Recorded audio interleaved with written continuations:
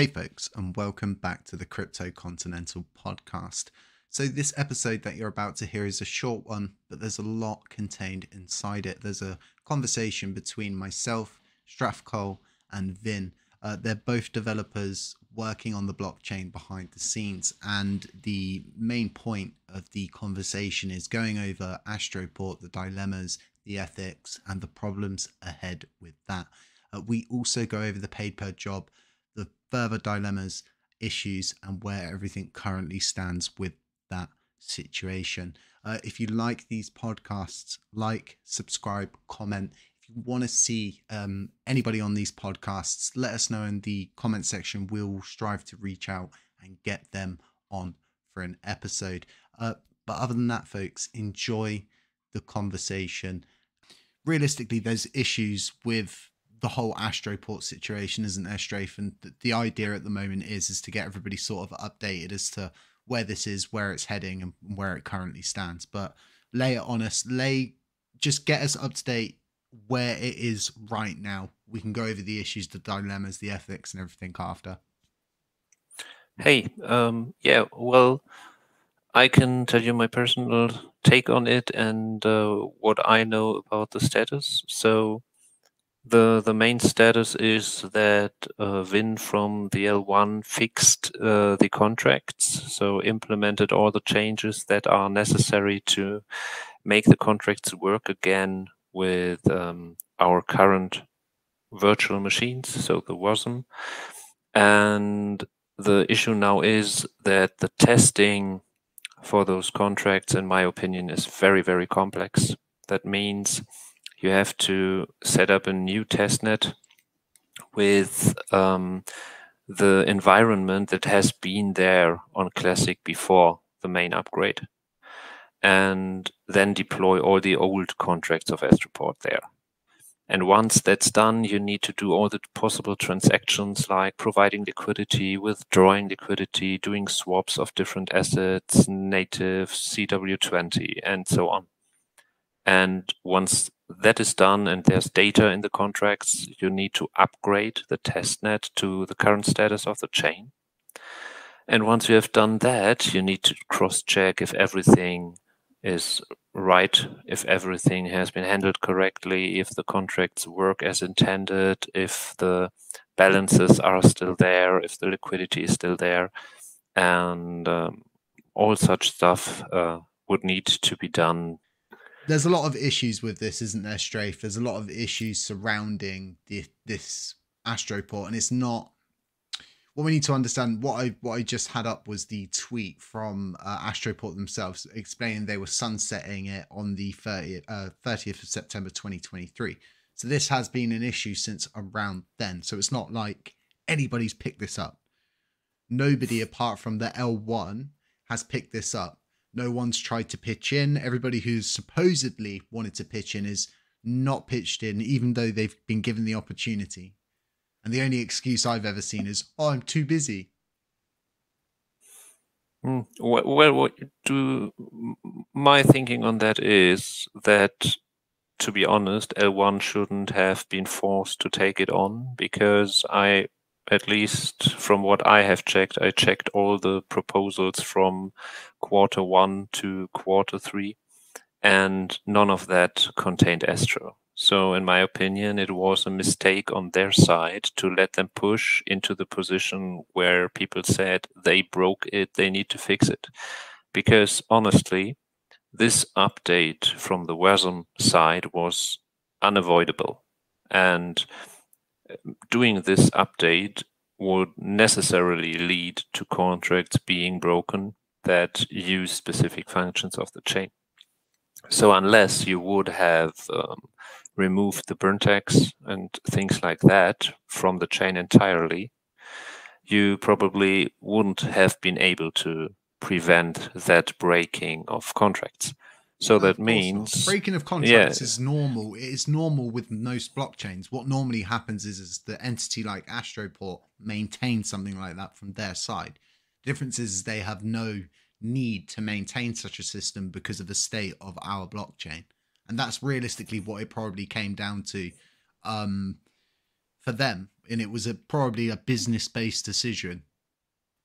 Uh, sure, it was because it's uh, it had would have been too much effort for them to adjust all the contracts maybe even getting it re-audited because there um, are quite a few things that need to be adjusted and then deploy it again just to make it working on on classic. So it's much more easy for them to say yeah uh, we sunset classic on astroport and give it to the community because that way they shift the responsibility for all the people having liquidity in um, to those people on classic that need to revitalize it. It's not just as well like launching this thing. Even once you've got it to a point ready to launch there's still dilemmas with it even with all the, yeah. the extensive testing, the build up right for those first trades will be very juicy unless somebody adjusts for that and takes that into account. But something that I, I really want to tread on here is how long this has been an issue. So if we look at the date, like I was showing at the beginning, the 30th of September, we look at that and we think about all of the different major, supposed major players on this chain, um, nobody has wanted to fix this. And it's not a situation i think this is what everybody needs to understand is that it's not in anybody's best interests to fix something that specifically puts swapping on chain. The only people's best interest this has ever been in is the l1s and vin himself has been the person who's been behind all of it right strafe of realistically doing the majority of the work to get it to where it needs to be gotten to right now in fact, from from my knowledge, he did all the work on yeah. the contracts. So that's, that's, what I thought as well. Yes, um, but as you said, even launching it would be not just launching it because um, people have liquidity in it. So the slightest slightest mistake in all the adjustments, even if it slips through review or uh, through testing, could lead to huge issues. And we all know who would be responsible for that then. And uh, so, so my opinion, as you said, the next issue is the imbalance of the um, liquidity pools between things like Terraport, TerraSwap, and then Astroport, because it was locked at a time where the exchange ratio between the tokens was uh, were totally different. So from my point of view, the only thing that you could do right now is uh, to try to fix the liquidity pools to allow people to withdraw their liquidity without reopening Astroport at all. And, and, just after just before, that, decide to. Just yeah. before you go any further, just so people don't get lost with this, what we're kind of getting at here right now is, is there's not really a situation where you could launch Astroport as it is without there being a substantial risk of backlash being poured onto the person who fixed it and re-enabled it that being vin now what we're saying here is is more or less there's realistically only one play you can make and what strafe is saying is just reopening it for people that are involved in it so they can get their liquidity out Yes, exactly. Then they can decide whether to wait if people decide to join the liquidity pools with other DEXs, or if they decide to reopen Astroport at one point, or if they want to get their liquidity out and put it somewhere else. Because from my point of view and um, from what I read, the most issues is that people are locked with their liquidity and oh. yeah. Hi Vin. Um, this Hi. is amazing. So we, we, have just been talking a little bit um, about the Astroport situation, Vin. Um, so I want to welcome you to this episode uh, on the channel. It's it's nice to actually have you back and have the main person who's been doing all of the work behind this sort of pivotal move towards Astroport getting re-enabled. What we're discussing here is the reality strafe, aren't we, of of where where it's kind of at and what the situation kind of is with it. Yes. Uh, well, I, I guess it's just like for narrative, like narrative wise, then that actual part is the thing that that bites L1. so um, th- then we were just talking about uh pretty much the in the idea of reopening it, but just to those who've got liquidity in it, so they can get it out, and then sort of seeing what happens afterwards. Yeah, Um, opening liquidity. Yes. And that's going to be the Um, safer thing to do, isn't it? Yes. I I suppose so. Yeah, what I said was, Win, um, that in case, even if you do thorough testing on a separate test net, including all the upgrade procedures and testing all the possible interactions with Astroport by hand, even even then, there is no audit anymore for the deployed contracts then because they have substantial changes. And in case anything goes wrong after it would be re-enabled would fall back on the person who fixed it. Yes. So for you, at least from my point of view and my my understanding, it would be a substantial risk to try to fully reopen Astroport um, without a prior full re-audit of all the changes and um, a prior option for all liquidity holders to decide what to happen, uh, what about um, their own liquidity they have put in that is locked currently. Do we have a number Yeah. of what's locked into their Seven hundred. Oh, I I- I have no number, but it's it's not not only a few bucks. It's uh, more than in TerraSwap, of course. Yeah, it's if I remember correctly, then it's seven hundred thousand, almost a million. A- A million dollars worth of revenue. No, lock total value lock in Oh, to- okay. What is that dollar value? Yeah. Yeah. uh, So it's More a like fair five amount. It's not, and this is this is going to be the issue, right? Because if you do re-enable it, someone could actually get that all out through different means, If there is a bug, which we know that there is because we have all of the stable coins active. We've seen this happen before for a KRTC swap between USTC KRTC, right? Tobias patched it. Or Ed, one or the other. But there Uh, was, there was yeah, that that a- was that that was the market module, the unintended arbitrage possibility. That's true. exactly. but But um, you don't- that's something like that of course can happen. And even if win only fixed um, the yeah, the dependencies and the libraries necessary for adopting to the changes um, that were done on classic for the wasm there still can be unintended side effects at least from my opinion. So if it was me to advise, I, I really would not at this moment even try to reopen it, but just allow liquidity holders to interact. it's a sticky situation. You know, this Very. whole this whole issue with um all of these sort of different major players, right? And the benefits of not having this system fixed, working, and doing all these different things is of great benefits to so many people. And what this is preventing is just decent on-chain swapping all the time. We've seen previously um, when mobile's been down or anything's been down with the swapping, we instantly see a reaction um, on the app and, and, and on the different sort of metrics that we can gauge. We see a reaction, so it's there, it's available. And um, with V3, I don't know if you two have played around with the new extension, but it's pretty good. It's smooth, it does what it's supposed to do.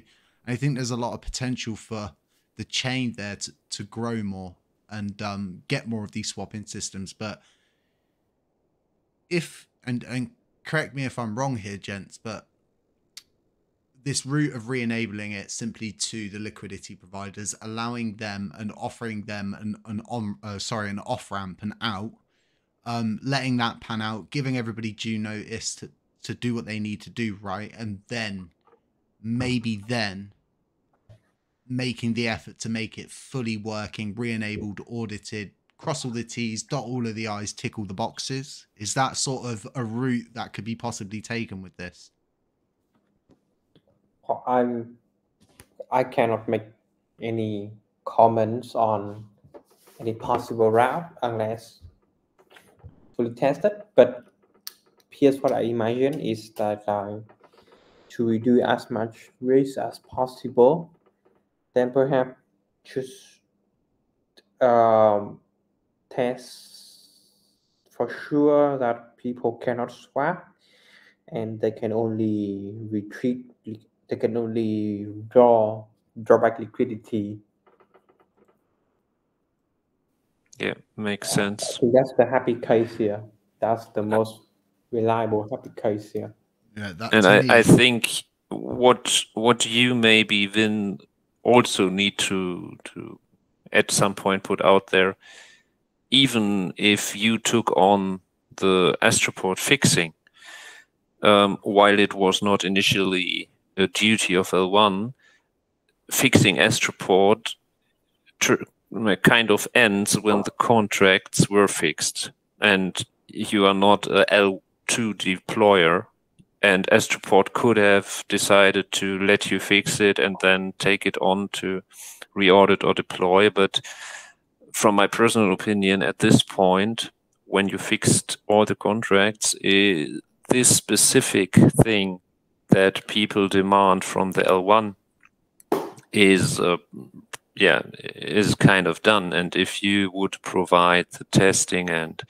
liquidity withdrawal options, then that would be the I don't know cake topping or something like that. But um, Hmm, At actually it least- makes sense actually it makes sense like that's the original proposal right just fixing the code not deploying Yeah. any meaningful yeah, but but you have to make it clear because I think people still think uh, L1 is responsible to bring Astroport back online, including all the features, including the interface and things like that. Yeah, and that- so you have to clarify. there's such a huge confusion in the community as to the job of a validator, the job of, de- of developers, and all of the different aspects that actually come into play. Now, Vin, you're not funded unless you've been paid for a community spend proposal. We've got so many validators that get so much in commission from the blockchain, specifically after the DCM changes and the reduction of the active set. You're not you- you're just not seeing that that return. You're not seeing that inflow back. You're not seeing anyone who's thinking to themselves let's fix astroport baby let's get it up and running let's get this going for the chain let's get this fixed and it's just all the time always falls on these guys always Hmm. it's, um Yeah, it, it's like it is. It that's that's the life of a developer. If Yeah. something breaks, first of all, yeah, you know who is responsible. yeah Yeah. these are the issues these are the issues Yeah, but Well- but I think that would be a viable route. So if uh, Vin with some support of whoever can try to really test and yeah, offer a route to Hang someone on, being ha- ooh, Uh, hang yeah. on hang on Yeah. you're, you're you guys can both attest to this how many times have people offered to help with this but it, nothing how many times have you guys responded and said yeah look here's the code you know this is what we're working on get involved have you had any help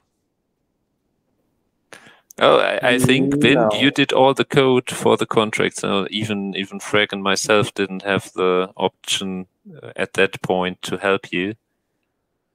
And these guys don't have validators they don't run validators they're not getting paid anything from their nodes so I think there's a huge issue and a huge like belay of confusion because I get last year we were paying three months up front and I'm playing devil's advocate here, right? We were paying three months up front and we were expecting loads of different works. And at that point, yes, you could probably have put a proposal up, and I have put proposals up myself asking for the L1 to do stuff. I understood it then, but I don't understand it now. And it's kind of another issue we should probably talk about right now is the paid per job. There's a few comments. I could probably bring them up. I'll probably edit them in, bring them up so they show up these different comments. And it's people now and even um you know, your usual suspects saying, "Oh, well, um are we doing the pay per job? We we all approved the pay per job, but you know, no paper. Are we going back to this old method, or are we doing pay per job? Oh no, you can't you can't apply for funding now because we've approved the pay per job, and it's the same people that were saying two three weeks ago we don't want the pay per job. It's too centralized. This that and the other. I think a lot of people are saying what happened with the pay per job. I'm seeing a lot of con- comments and stuff, so we should probably talk about that a little bit here as well. Um, where are we at with that, gents? What what's the issues? Mostly the issue is from my side, because like this job, it will have to be deployed on chain somehow, and um, the issues happen to be to be the L1 manager, which is me. Because uh, obviously that I I hold the repo and I have to review it and then I push it to the validator group. Um, so um, if this is about paper job and also reviewing, then I think to reduce complete risk from my side, then the team proposing it should review themselves and deploy it to validator. So you mean so that you are not put at risk with, because you have reviewed and approved it? No, I will not. I'm going to review and approve, and, and such person which will have right access to classic Terra Core. Mm -hmm. And such team is re responsible for deploying as well. Oh, okay, so the risk mitigation for you would only be there in in the case that the yeah that that the people contributing would be known. And to put it bluntly, KYC. You know, this whole system cannot work without KYC. There has to be levels of trust, otherwise it won't work. There's too much risk for someone like Vin, who's a manager of the repository, to merge any kind of malicious code. Yeah, so probably like use a different branch, like just um, like if if if if the paper job continue to go in its current form, then I don't have much reviewing power actually, because by then that's like gatekeeping the chain. So mm-hmm. um, best way forward is that I would just let every team to merge in and then let them deploy it. And uh, so that um, but but that would mean that um, yeah so so what you're saying would be the complete permissionless approach right where validators and the community would take the risk of something breaking because um, there is no further review done by by people that could be turned to. Yes, and because like if, if you look at the community right now, if you look at the chat right in in the validator Discord group, in the proposal chat, like it's just complete nonsense of community collective mind? Yeah, the, the thing is, I, I think um, what what people might not um, be aware of, even if you do a permissionless approach, then those people being doxed or KYC'd like yourself cannot review it because um, that would mean they are the single point of um, contact to turn to in case they overlook something that has been slipped in. because everyone else um, just can uh, vanish into the into the void. So it's mean, not like- only yeah Mm, like if, if you look at like at, at like contract work, like then, then it should be a, a contract as well. Like and then if, if validator is unsure, then they will pay out a lump sum to a person who will review it. yeah, but still that person would either need to take the risk or also be non-accountable. Well, I mean, like uh, that depends on the scope. Like if it's just for review and not responsibility, then that's how it will be. Yeah, Like well, well that is that is exactly community rule. it's exactly the crossroads that I'm I think there will be either there is some kind of responsibility or there isn't so you, you cannot have the mixed part because those people um, that are known won't take the risk then It's a situation where you either kind of put the fail safes in place or don't put them, in place and prepare to fail because someone will use that against the chain. Someone will prey on us doing, well, not us, but specifically us speaking as the Terra Classic Columbus 5 community validators across board. Um, there's going to be bad apples and bad characters out there. The chain exists because of bad actors, because of a crash. Like, it's never going to work having like a permissionless system where you can just sort of upload whatever you want. And I think, like you're saying, Strafe, there's going to be a crossroads where everything that is done is governance based anyway. If you respect governance, um, but yeah, it just it throws all of that out of the window when anyone can sort of merge whatever they want. There's no responsibility as to who whose code it is and, and stuff like that. And I think what people don't understand is this is DeFi. If someone pillages and plunders the chain, there's nothing anybody can do. I mean, like, um, just look at validator perspective a little bit. Then I think like majority of developer uh, of validator online we just want to let the chain be, let it be as stable as possible, so that they can milk it as much as possible, like without even the, the need for reading or having to understand the complexity of community at all. Like that's so um, for validator, like um, I would say like most of them like uh What most of them don't care, then? Is that what you're saying? yeah they, yeah they exactly yeah exactly.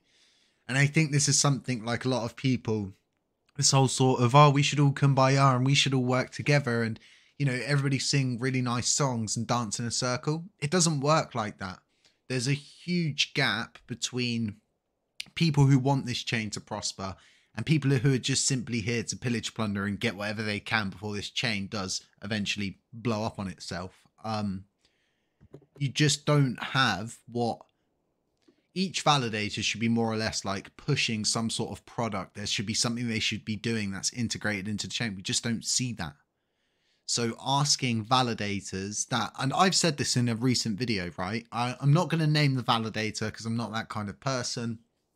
Um, but I asked them, you know, why don't you develop something? Why don't you do something? You know, you're a top 10 validator, you're getting all of this money. Why don't you do something? And they literally just laughed at me. Just,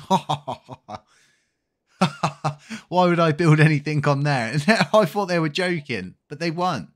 They were being deadly serious. Why would I do anything for that chain?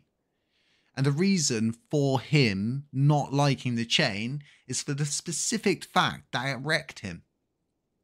That it wrecked him and he's never getting any of that money back.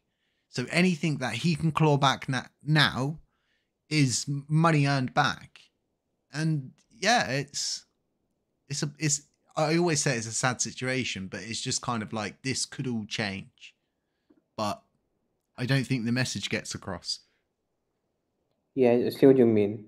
So while they just lose much money and now they just want want it back. So there's no reason for them to even actively engage in the chain. The chain can be however however it is. So a lot of people sit there and they also say further, like, why do Luna, like people community, hate this chain so much? Why is there so much friction? Why are there all of these issues? And another thing people don't understand is is that all of these people that did get wrecked uh, also then further got pushed onto a new chain, right? Which is Luna, the Phoenix One blockchain.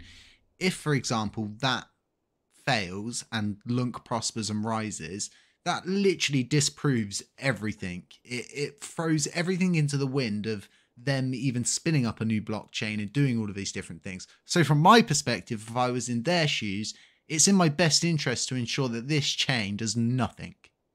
It does nothing, it struggles, and it only pays me money what back of what I'd lost. It's and I think this is what people don't understand is that greed really drives things. Really drives things. Um, yeah, I agree. But I mean, like for valid strategy right now on LUNC is that every proposal that makes them look nice, it will be voted. Yes, like just they just need to look nice in the in the face of community. Yep, you're right. And like people are like, no, no, it's not like that. Maybe you're new here. Maybe you don't know. Um, if you look at the USTC repeg and you know, I'm gonna I'm gonna point at this for this because it's a good example. There's nothing, forty thousand dollars for nothing, and all of the big validators voted yes on this. Yeah, yeah, go for it. Yeah, whatever, whatever keeps you happy. I think they they look at everybody like a kid. A kid starts crying, whinging, whining. Oh, you know, here, have your toy. So yeah this this huge issue. And it's not just Luna validators. Like if you go and look at the active set you look at the the Luna validators um it's not just them it's so many others. Like i think i think the most i ever see is like a website. You know, going to produce a website. You know, we need all of these different tools we need so many different things and we're just not getting it the chain doesn't have the inflow to match the outflow similar to what was going on with the community pool, where just too much was going out all of the time, um, and you just don't have that inflow to match the outflow. This chain should be at a point of net green. Hmm. Net green. Yeah, net green, where the Oracle pool's actually being replenished. We've got developer yes. funds and all of these different things. It's for me, the paid per job system was always like a, a gateway to a bigger system which allows just the average Joe to say, I've got a project, uh, this is it from A to Z, and this is my budget that I have available. And they use the system to break it down, similar to what um, labor markets likelihood's going to turn out to be. It's always about opening up roads and avenues, but it's just not that many of us doing it. So um ultimately, what is the the next steps with pay per job? Same same with you with you, Vin. You know, what are the next steps here? Uh, re- re- refine it. So remove all the uncertainties and uh, issues that occur when the things that are not well thought out that made it more complicated instead of being the most simple that it should have been or was meant to be. Um, so that's probably what's what needs to be done because right now it seems uh, quite quite unusable for uh, for many people. For value to say too much overhead for validator management. Way too much. Way too much. I still like after the whole what we've just been saying here, folks, now you think about asking the validators base to approve code, to go through and check these things meticulously and go do all the double checks, triple checks, and go speak to people, speak to developers, do all of these different. No, it's just not going to happen. But it's a crossroads, right, guys? we're going to hit this crossroads where have to make a decision. Yeah. So At I- one point, we have to. yeah, I, I personally think, folks, because of the amount of either having this system as a permissionless system where the validators and governance literally approve everything, um, it is too much risk either side of both of this to even resort to a system which opens up all of these different avenues to do scams and plunder the chain and stuff like this. I would rather just resort to the rudimentary means of asking for money up front, maybe getting paid 50% at the beginning. So, just coming into the end of this, and you two saying about this more simplified system, why not go for a way more simplified system where someone just, for example, says, um, We've got what you guys have done, what Genuine Labs have done recently. You propose the amount of funds, right? And then it gets those funds, they get approved, the proposal's approved. Instead of all of the funds going to them, it goes to, say, a developer's wallet and then that developer's wallet pays that out over the course of and then that kind of being maybe a middle ground to build off of Yeah, that, that doesn't work because it's the same as L1. Like L1 has that also. In the initial, we have community oversight, which turns to L1 community oversight by community. so yeah, the, yeah, the issue is doesn't that the community cannot agree on people that are responsible for paying out funds. That's that's probably the main issue. We had so many discuss, discussions for so many um, um, Yeah, I- occasions I- about uh, multisigs. yeah i don't think it should be a person i think it should literally just be an automated system so Ah, okay. the job specifically has a timeline. So there's eight weeks, there's a hundred, uh, hundred million LUNC coins, and the, the AI literally it doesn't check anything. It doesn't need to do anything because it was all all approved at the beginning. The difference is it gets it gets passed out in 20 25 percent chunks. That Yeah. kind of thing. So something that hmm. is literally built into the system. It doesn't require a person. It's not constricting. It's not trying to control anything. It just kind of puts a fail safe in place. Because Yeah. eight eight weeks, fourteen weeks is still a long time. If it turns out that these guys scam and run with the first twenty five percent, there should be a fail safe in place to prevent and get a proposal through which which eliminates that and says no, they shouldn't continue getting there. You know, fail safes, right? I, That I mean, can you implemented.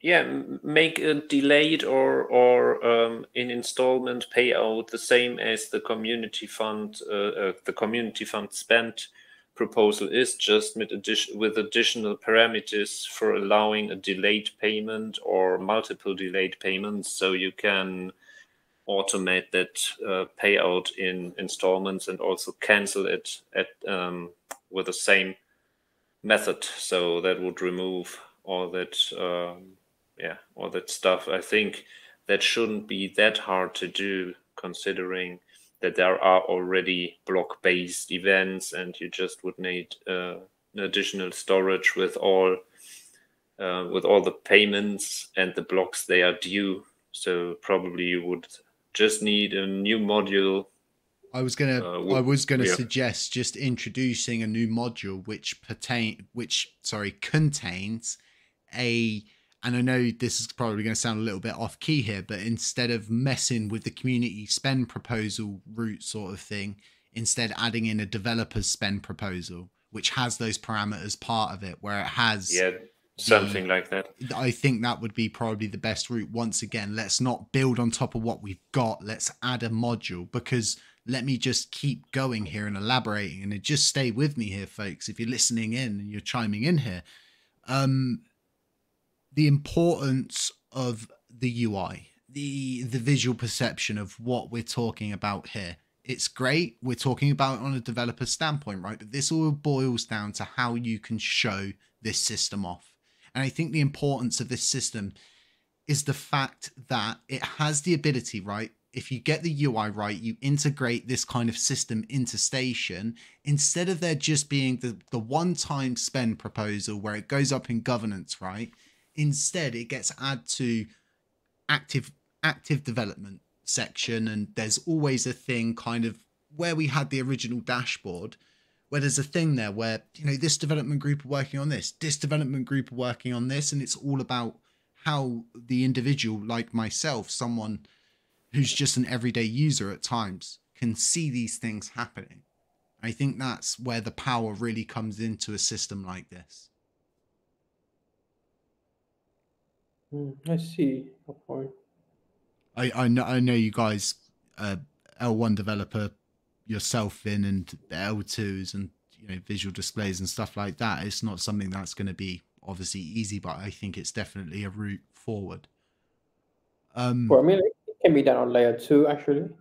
Like choose a spec proposal and send it to a smart contract, and then let the smart contract run um, the payment terms.